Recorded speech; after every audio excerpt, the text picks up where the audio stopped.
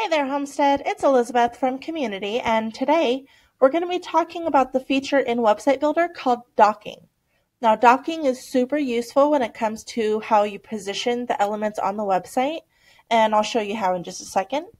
Um, docking options can be added on to pretty much any element um, buttons, contact forms, containers, images, maps, you know, shapes, text, videos. And to add the docking options or to get to the docking options, you just have to click on the element, click more on that menu, and then find the icon that looks like this. If you hover your mouse over it, it's going to say docking options. So if you click on that, it'll show you the options that are available. Now you can dock either horizontally or vertically. Now remember, this is in the section that you have this element in. So in between this line and this line is section B.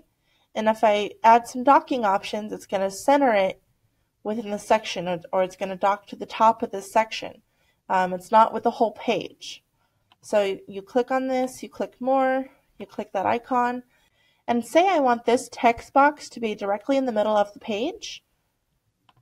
I click the center option and it'll put it exactly in the middle of the page. And this just it makes it easier to give your site a really clean and professional look to it. You know, you can try to put the text box in the middle yourself, but you might not get it exactly there. So this is a way to just do it really, really nicely. And the, the element is not locked right there. You can move it and it's going to have a red line that sort of tells you exactly how far away you're getting from the center. Same thing happens when you dock vertically. It'll put it in the middle of those two lines.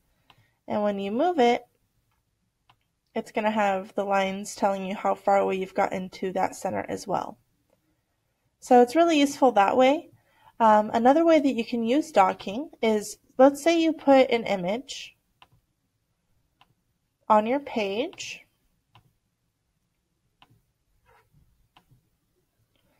And while we don't really recommend building outside of these guidelines, say you choose to put an image to the far left of your website.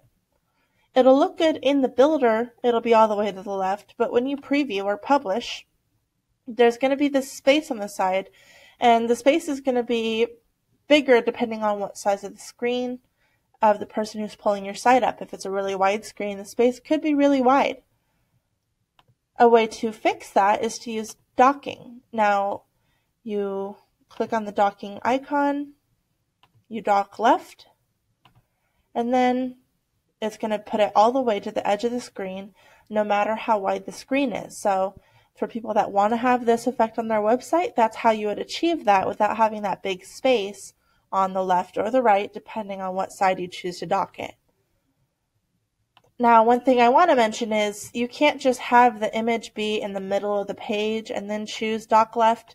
It's not going to do it. You kind of have to do half of the work by putting it over to the side to begin with. Um, and the last way to use docking that I want to mention is let's say you're going to add an element like a map. And a really popular thing to do these days is to put a map all the way across the page so you, again, you can stretch the map all the way across the best you can in the builder, but once you do a preview, it's going to have the spaces on the sides, and that just doesn't look great.